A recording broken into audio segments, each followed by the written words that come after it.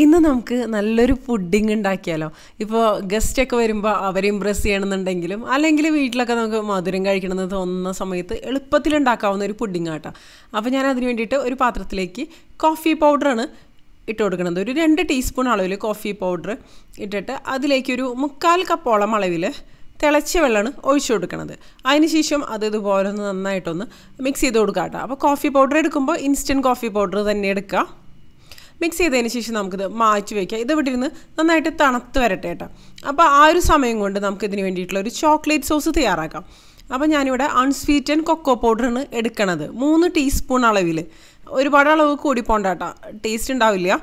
ഏതെങ്കിലും നല്ല ബ്രാൻഡ് നിങ്ങൾക്ക് ഉപയോഗിക്കാം കേട്ടോ ഇനി ഇതിലേക്ക് ചേർത്ത് കൊടുക്കുന്നത് കോമ്പൗണ്ട് ചോക്ലേറ്റ് ആണ്. ഇതുപോലെ ഒരു കഷ്ണം ഒരു വലിയ കഷ്ണം കോമ്പൗണ്ട് ചോക്ലേറ്റ് ഞാൻ അതിന് വേണ്ടിയിട്ട് എടുത്തിട്ടുണ്ട്. ഫ്ലെയിം ഓൺ ചെയ്തിട്ട് ഒന്നും കൊടുത്തിട്ടില്ല കേട്ടോ. പിന്നെ ചേർക്കുന്നത് ബട്ടറാണ് ഇതിപ്പോൾ ഒരു ടേബിൾ സ്പൂണോളം അളവിൽ ബട്ടർ ചേർത്ത് കൊടുത്തിട്ടുണ്ട്. ഇനി നമുക്കിതിലേക്ക് ഒരു ഒന്നര കപ്പ് അളവിൽ പാൽ ചേർത്ത് കൊടുത്തിട്ട് ഒന്ന് മിക്സ് ചെയ്ത് കൊടുക്കാം കേട്ടോ. അപ്പോൾ ഈ ഒരു സമയത്ത് നമുക്ക് ഫ്ലെയിം ഓൺ ചെയ്ത് കൊടുക്കാം. അപ്പോൾ ആ ഒരു കൊക്കോ പൗഡറൊക്കെ ഇങ്ങനെ മുകളിൽ ഇങ്ങനെ മിക്സ് ആവാത്ത പോലെ ഇങ്ങനെ കിടക്കുന്നുണ്ടാവും. അപ്പോൾ ഒരു വിസ്ക് ഉപയോഗിച്ചിട്ട് ഇതുപോലെ നന്നായിട്ടൊന്ന് ഫ്ലെയിം കുറച്ച് തന്നെ വെക്കുക കേട്ടോ ഈ ഒരു സമയത്ത്. എന്നിട്ടൊന്ന് മിക്സ് ചെയ്തെടുക്കുക. അപ്പോൾ ഇതുപോലെ ഒന്ന് മിക്സ് ആയിട്ട് ആ ഒരു ബട്ടർ കാര്യങ്ങളൊക്കെ ഒന്ന് ഉരുകി വരുന്നുണ്ട്. അപ്പോൾ ഈ ഒരു സമയത്ത് നമുക്ക് ഇതിലേക്ക് ആവശ്യത്തിനുള്ള പഞ്ചസാര ചേർത്ത് കൊടുക്കുക. നമ്മൾ ചേർത്ത് കൊക്ക പൗഡറിൽ മധുരം ഇല്ല പിന്നെ ഞാൻ ഡാർക്ക് കോമ്പൗണ്ട് ആയിരുന്നു അതിലേക്ക് ചേർത്തത്. അതിൽ ചെറിയ രീതിയിൽ മധുരം ഉണ്ടാവും. പക്ഷേ എന്നാലും പഞ്ചസാര ചേർക്കേണ്ടി വരും കേട്ടോ. അപ്പോൾ തന്നെയായിരിക്കും പെർഫെക്റ്റ് ആയിട്ടുള്ള രീതിയിലുള്ള മധുരം ആയിട്ട് വരാം ഞാനൊരു എട്ട് ടീസ്പൂൺ അളവിലാണ് പഞ്ചസാര ചേർക്കുന്നത്. അതിനുശേഷം നല്ലപോലെ ഇതുപോലെ ഒന്ന് മിക്സ് ചെയ്ത് കൊടുക്കാം. ഇനി ഇത് നമുക്ക് തിക്കാക്കി എടുക്കണമല്ലോ പുഡിംഗ് എന്ന് പറയുമ്പോൾ ഒരു തിക്കായിട്ടുള്ള സ്റ്റേജിലേക്ക് വരുന്നതിന് വേണ്ടിയിട്ട് ഇതിലേക്ക് കോൺഫ്ലോർ രണ്ട് ടീസ്പൂൺ അളവിൽ ചേർത്തിട്ട് ഇതുപോലെ ഒന്ന് കട്ടകളൊന്നും ഇല്ലാതെ നല്ലപോലെ ഒന്ന് മിക്സ് ചെയ്ത് കൊടുക്കാം കേട്ടോ ഈ ഒരു സമയത്ത് ഞാൻ തീ കുറച്ച് തന്നെയാണ് വെച്ചിരിക്കുന്നത്.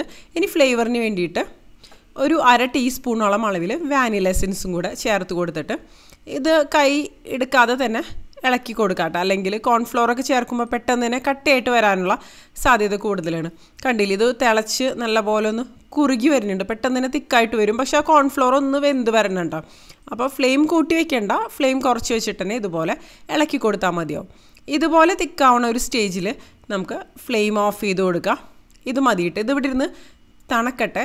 തണുത്തതിന് ശേഷം മാത്രമാണ് നമ്മൾ എല്ലാ കാര്യങ്ങളും അസംബിൾ ചെയ്ത് എടുക്കുക കേട്ടോ അപ്പോൾ ആ ഒരു സമയത്ത് നമുക്ക് ഇതിന് വേണ്ടിയിട്ടുള്ള ഒരു വിപ്പിംഗ് ക്രീമൊക്കെ ഒന്ന് അതായത് ബീറ്റ് ചെയ്ത് എടുക്കണം കേട്ടോ അപ്പോൾ അതിന് വേണ്ടിയിട്ട് ഞാനിവിടെ ഒരു അരക്കപ്പോളം അളവിൽ വിപ്പിംഗ് ക്രീമാണ് എടുക്കുന്നത്. ഏതെങ്കിലും നല്ല ബ്രാൻഡ് നിങ്ങൾക്ക് ഉപയോഗിക്കാം കേട്ടോ അതിനുശേഷം ഇത് നന്നായിട്ട് വിപ്പ് ചെയ്തെടുക്കുക. സാധാരണ കേക്കിനൊക്കെ ചെയ്യുന്നത് പോലെ തന്നെ നല്ല സ്റ്റിഫ് പീക്സ് ആവണ ഒരു രീതിയിൽ വേണം വിപ്പ് ചെയ്തെടുക്കാൻ വേണ്ടിയിട്ട് കേട്ടോ ഈ ഒരു പുഡിംഗ് എന്നൊക്കെ പറയുമ്പോൾ കുട്ടികൾക്കും വലിയവർക്കും ഒരുപോലെ ഇഷ്ടപ്പെടും. ഉണ്ടാക്കാനാണെന്നുണ്ടെങ്കിൽ വലിയ ബുദ്ധിമുട്ടൊന്നുമില്ല. അപ്പോൾ കുറച്ച് ദിവസം മുമ്പ് അനൂപേന്റെ ഫ്രണ്ടും ഫാമിലിയൊക്കെ വന്ന സമയത്ത് ഞാൻ ഉണ്ടാക്കിയിട്ടുണ്ടായിരുന്ന ഒരു പുഡിംഗ് ആയിരുന്നു കേട്ടോ അപ്പോൾ അവർക്ക് നന്നായിട്ട് ഇഷ്ടപ്പെട്ടു. കുട്ടികൾക്കും ഒക്കെ നന്നായിട്ട് ഇഷ്ടപ്പെട്ടിരുന്നു. അപ്പോൾ അവർ റെസിപ്പിയൊക്കെ ചോദിച്ചിട്ടുണ്ടായിരുന്നു.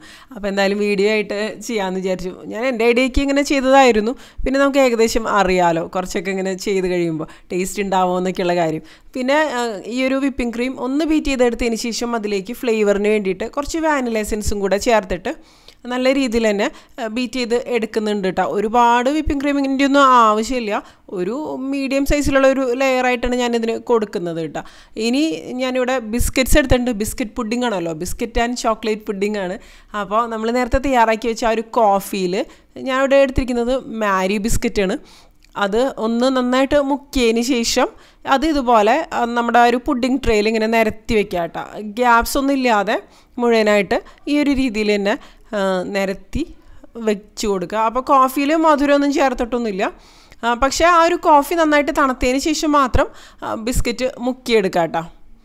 അപ്പോഴായിരിക്കും പെർഫെക്റ്റ് ആയിട്ടുള്ള രീതിയിൽ വരിക. അല്ലെങ്കിൽ ഭയങ്കരമായിട്ട് എന്താ പറയുക കുതിർന്ന് വല്ലാണ്ട് ഇതായിട്ട് മാറുമല്ലോ ഇനി നമ്മൾ നേരത്തെ തയ്യാറാക്കി വെച്ച ആ ഒരു ചോക്ലേറ്റ് സോസ് ഉണ്ടല്ലോ അത് ഇനി ഇതിന്റെ മുകളിലേക്ക് നമുക്ക് ഒഴിച്ചു കൊടുക്കുക. അപ്പോൾ അതിനു മുമ്പ് ഒന്ന് ഇതുപോലെ നന്നായിട്ടൊന്ന് മിക്സ് ചെയ്ത് കൊടുക്കുക. അപ്പോൾ ബട്ടറൊക്കെ ചേർത്തത് കൊണ്ട് തന്നെ ഈ ഒരു ചോക്ലേറ്റ് സോസ് നല്ല ഗ്ലോസ് ചെയ്യണം കേട്ടോ. പിന്നെ ഇത് ടേസ്റ്റ് ചെയ്ത് നോക്കുക. മധുരം അങ്ങനത്തെ കാര്യങ്ങളൊക്കെ ഉണ്ടാക്കുന്ന സമയത്ത് പെർഫെക്റ്റ് ആണോ എന്നുള്ളതും നോക്കാം കേട്ടോ. അപ്പോഴായിരിക്കും നന്നായിട്ട് വരിക. കണ്ടില്ലേ? ഇതുപോലെ നല്ല തിക്കായിട്ട് മാറിയിട്ടുണ്ട്. ഇത് നമുക്ക് ഇതിന്റെ മുകളിലേക്ക് ഒഴിച്ചു കൊടുത്തിട്ട് സ്പ്രെഡ് ചെയ്തെടുക്കാം. നമുക്കിപ്പോൾ നമ്മൾ ഏത് പാത്രത്തിൽ ഇപ്പോൾ എത്ര പാത്രത്തിൽ ഉണ്ടാക്കണമെന്ന് വെച്ചാൽ അതിനനുസരിച്ച് തന്നെ ഇതിന്റെ അളവൊക്കെ നമുക്ക് കൂടുതൽ എടുക്കാം കേട്ടോ. എല്ലാം ഒഴിച്ചു കൊടുത്തതിന് ശേഷം ഇതുപോലെ പതുക്കൊന്ന് സ്പ്രെഡ് ചെയ്ത് കൊടുക്കുക. ആ ബിസ്ക്കറ്റൊക്കെ ഒന്ന് മാറാത്തൊരു രീതിയിൽ തന്നെ സ്പ്രെഡ് ചെയ്ത് കൊടുക്കാവുന്നതുള്ളൂ കേട്ടോ. ഞാനിപ്പോൾ ഒരു ലെയറാണ് ഇത് കൊടുക്കുന്നുള്ളൂ. നിങ്ങൾക്ക് രണ്ട് ലെയർ വേണമെങ്കിൽ അങ്ങനെയും കൊടുക്കാവുന്നതുള്ളൂ കേട്ടോ. എല്ലാം നമ്മുടെ ഇഷ്ടത്തിനനുസരിച്ച് നമ്മുടെ ഐഡിയയ്ക്ക് അനുസരിച്ചൊക്കെ ചെയ്യാവുന്നത് തന്നെയുള്ളൂ. കണ്ടില്ലേ? ഈ ഒരു രീതിയിൽ ചെയ്തെടുത്തിട്ടുണ്ട്. ഇനി ഞാനിവിടെ ചോക്ലേറ്റ് ക്രീം ബിസ്ക്കറ്റാണ് എടുക്കുന്നത്. അടുത്ത ലെയർ കൊടുക്കാൻ വേണ്ടിയിട്ട് ഞാനിപ്പോൾ ഓറിയോൺ എടുത്തിരിക്കുന്നത്. ഏത് വേണമെങ്കിലും നിങ്ങൾക്ക് ഉപയോഗിക്കാം കുഴപ്പമൊന്നുമില്ല. അതിങ്ങനെ രണ്ടെണ്ണമായിട്ട് സെപ്പറേറ്റ് ചെയ്തിട്ട് അതും അടുത്ത ലെയറായിട്ട് കൊടുത്തിരിക്കുകയാണ്. ഇത് വേണമെന്ന് നിർബന്ധമൊന്നുമില്ല ഓപ്ഷണലാണ് ഇപ്പോൾ മാരി വെച്ചിട്ടുണ്ടല്ലോ. അതാണെന്നുണ്ടെങ്കിൽ മാത്രം അതായാലും മതി കേട്ടോ കുഴപ്പമൊന്നുമില്ല. ഇതും കൂടി ആകുമ്പോൾ ഒന്നും കൂടി ഒരു എക്സ്ട്രാ ഒന്നും കൂടി നന്നായിട്ട് വരുന്നു മാത്രം. കണ്ടില്ലേ? അടുത്ത ലെയർ അത് കൊടുത്തു. പിന്നെ വിപ്പിംഗ് ക്രീം വിപ്പിംഗ് ക്രീം വെച്ചിട്ട് അതും നമുക്ക് നല്ലപോലെ ഒന്ന് സ്പ്രെഡ് ചെയ്ത് കൊടുക്കാട്ടോ. കേട്ടോ പിന്നെ ഇപ്പോൾ ചോക്ലേറ്റ് സോസ് തയ്യാറാക്കിയിട്ട് ഒരു ലെയർ കൊടുത്തില്ലേ? അതുപോലെ നിങ്ങൾക്ക് കസ്റ്റാർഡിന്റെ ഒരു ലെയർ അങ്ങനെ വേണമെന്നുണ്ടെങ്കിൽ അങ്ങനെയും കൊടുക്കാട്ടോ. അത് തിക്കായിട്ട് ആക്കിയെടുത്തിട്ട് അങ്ങനെ വേണമെന്നുണ്ടെങ്കിലും ചെയ്യാൻ നന്നായിട്ട് തന്നെ വരും. പിന്നെ ടോപ്പിംഗ് ആയിട്ടോ ഇടയിലോ ഫ്രൂട്ട്സ് കട്ട് ചെയ്തിട്ട് ഇപ്പോൾ ഇതിന്റെ കൂടെ മാച്ചായിട്ട് പോവാവുന്ന ഇപ്പോൾ കിവി സ്ട്രോബെറി അങ്ങനത്തെ ഫ്രൂട്ട്സൊക്കെ വേണമെന്നുണ്ടെങ്കിൽ നമുക്ക് ഇതിന്റെ ഇടയിലൊക്കെ ഇട്ട് കൊടുക്കാവുന്നതുള്ളൂ കേട്ടോ. പിന്നെ ഫ്രൂട്ട്സൊക്കെ ഇട്ട് കൊടുക്കുമ്പോൾ അങ്ങനെ അധികം ദിവസം അതായത് അന്ന് തന്നെ ഉപയോഗിക്കേണ്ടിയൊക്കെ വരും. പിറ്റേ ദിവസത്തേക്കൊന്നും ചിലപ്പോൾ അത്ര നന്നായിട്ട് വരില്ല. ടേസ്റ്റിലൊക്കെ വ്യത്യാസം വരാനൊക്കെ സാധ്യത കൂടുതലാട്ടോ. ഇതുപോലെ നന്നായിട്ടൊന്ന് സ്പ്രെഡ് ചെയ്ത് എടുത്തിട്ടുണ്ട്. ഞാനിപ്പോൾ ഇതിൽ ഫ്രൂട്ട്സ് ഒന്നും ചേർക്കുന്നില്ല. നട്ട്സും ചോക്ലേറ്റ്സും അങ്ങനത്തെ കാര്യങ്ങളൊക്കെ മാത്രമേ ഞാൻ ചേർക്കുന്നുള്ളൂ കേട്ടോ. പിന്നെ ഞാനൊരു കോമ്പൗണ്ട് ചോക്ലേറ്റിന്റെ ഒരു പീസ് എടുത്തിട്ട് ഇതുപോലെ പീലർ വെച്ച് ഒന്ന് പീൽ ചെയ്ത് അങ്ങനെ ഇട്ട് കൊടുക്കണം കേട്ടോ ചെയ്യുന്നത്. ചെറിയ കഷ്ണങ്ങളായിട്ടുള്ള ഒരു രീതിയിൽ. അപ്പോൾ ഇതിപ്പോൾ ഡാർക്ക് കോമ്പൗണ്ടാണ് അല്ലെങ്കിൽ നിങ്ങൾക്ക് മിൽക്ക് കോമ്പൗണ്ട് ആണെങ്കിലും ഉപയോഗിക്കാം കേട്ടോ. എങ്ങനെ വേണമെങ്കിലും നമ്മുടെ ഇഷ്ടത്തിനനുസരിച്ച് ഇതൊക്കെ ചെയ്തെടുക്കാവുന്നതുള്ളൂ. പിന്നെ കുറച്ച് നട്ട്സും കൂടെ ചോപ്പ് ചെയ്തിട്ട് ഞാൻ ഇതിലേക്ക് ഇട്ട് കൊടുക്കുകയാണ് ചെയ്യണത് കേട്ടോ. ഞാനിപ്പോൾ എടുക്കുന്നത് ബദാമാണ്. അല്ലെങ്കിൽ നിങ്ങൾക്കിപ്പോൾ ചോക്ലേറ്റിന്റെ കൂടെ നന്നായിട്ട് മാച്ച് ആയിട്ട് പോകുന്ന ഒരു സംഭവമാണ് ബദാം എന്ന് പറയുന്നത്. അല്ലെങ്കിൽ വാൾനറ്റ് ആണെങ്കിലും നന്നായിട്ട് തന്നെ വരുന്നുണ്ട് ഇതിന്റെ കൂടെ. പിന്നെ കളർഫുൾ ആക്കണമെങ്കിൽ നിങ്ങൾക്ക് പിസ്താഷിയോ അങ്ങനെയൊക്കെ വേണമെന്നുണ്ടെങ്കിൽ ചേർക്കാവുന്നതുള്ളൂ കേട്ടോ. കണ്ടില്ലേ? നല്ല തിന്നായിട്ടൊന്ന് സ്ലൈസ് ചെയ്ത് എടുക്കുക കേട്ടോ. അല്ലെങ്കിൽ സ്ലൈസ്ഡ് ആൽമണ്ട്സോ എന്ത് വേണമെങ്കിലും നിങ്ങൾക്ക് ഉപയോഗിക്കാവുന്നതുള്ളൂ. ഞാനൊരു ആറേഴെണ്ണം എടുത്തിട്ട് ഇതുപോലെ ഒന്ന് നന്നായിട്ട് ഇതുപോലെ ഒന്ന് ചോപ്പ് ചെയ്ത് എടുക്കുകയാണ് ചെയ്യണത്. അത് അതിന്റെ മുകളിലേക്കൊന്ന് ഇട്ട് കൊടുക്കണം കേട്ടോ.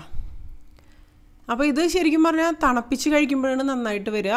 ഇത് റൂം ടെമ്പറേച്ചറിൽ അതിന് ശേഷം ഇപ്പോൾ സോസുകളൊക്കെ ചേർത്ത് കൊടുക്കുമ്പോൾ ആ ഒരു ചോക്ലേറ്റ് സോസ് സംഭവം ഉണ്ടല്ലോ അതൊക്കെ ചേർത്ത് കൊടുക്കുമ്പോൾ റൂം ടെമ്പറേച്ചറിൽ അതിന് ശേഷം മാത്രം ഇതിലേക്ക് ചേർത്ത് കൊടുക്കാം കേട്ടോ. എന്നിട്ട് പിന്നെ ഫ്രിഡ്ജിൽ വെച്ച് തണുപ്പിച്ചിട്ട് കഴിക്കുമ്പോഴാണ് നല്ല അടിപൊളിയായിട്ട് വരിക. അപ്പം നമുക്കിനി ഇതിപ്പോൾ ഒന്ന് കവർ ചെയ്ത് ഫ്രിഡ്ജിൽ വെച്ച് തണുപ്പിച്ചെടുക്കാം. ഞാൻ പെട്ടെന്നാവാൻ വേണ്ടിയിട്ട് ഫ്രീസറിൽ വെച്ചിട്ട് കുറച്ച് സമയം തണുപ്പിച്ചെടുക്കുന്നത് കേട്ടോ അപ്പോൾ അല്ലെങ്കിൽ ഫ്രിഡ്ജിൽ വെച്ച് ഒരു രണ്ട് മൂന്ന് മണിക്കൂറൊക്കെ തണുപ്പിച്ച് കഴിഞ്ഞാൽ നമുക്കിത് ഉപയോഗിക്കാവുന്നതുള്ളൂ കേട്ടോ. കണ്ടില്ലേ ഇതിപ്പോൾ ഒന്ന് റെഡി ആയിട്ട് വന്നിട്ടുണ്ട്. നമുക്ക് ഇഷ്ടമുള്ള സൈസിലുള്ള കഷ്ണങ്ങളായിട്ട് മുറിച്ചിട്ട് നമുക്ക് സെർവ് ചെയ്യാവുന്നതുള്ള നല്ല സിമ്പിളായിട്ടുള്ളൊരു പുഡിങ്ങാണ് പക്ഷേ എന്താ പറയുക നല്ല ടേസ്റ്റി ആയിട്ടുള്ളൊരു സംഭവം തന്നെയാണ്. കുട്ടികൾക്ക് പോലും ഉണ്ടാക്കിയെടുക്കാം. അധികം കുക്കിങ്ങോ സംഭവങ്ങളോ ഒന്നും തന്നെ ഇല്ല പക്ഷേ അടിപൊളി തന്നെയാട്ടോ. നമുക്കിതിപ്പോൾ ഒരു പാർട്ടിക്കൊക്കെ ആണെങ്കിലും ഇപ്പോൾ ബർത്ത്ഡേ പാർട്ടിയോ അങ്ങനെ എന്തെങ്കിലും ഫങ്ഷനൊക്കെ ആണെന്നുണ്ടെങ്കിലും ഡെസേർട്ടായിട്ട് സെർവ് ചെയ്യാവുന്നതുള്ളൂ കേട്ടോ അപ്പോൾ നമ്മുടെ നല്ല അടിപൊളിയായിട്ടുള്ള ചോക്ലേറ്റ് ബിസ്ക്കറ്റ് പുഡിങ് റെഡി ആയിട്ടുണ്ട്. അപ്പോൾ നിങ്ങളുടെ അഭിപ്രായങ്ങൾ തീർച്ചയായിട്ടും കമന്റ് ചെയ്യാം കേട്ടോ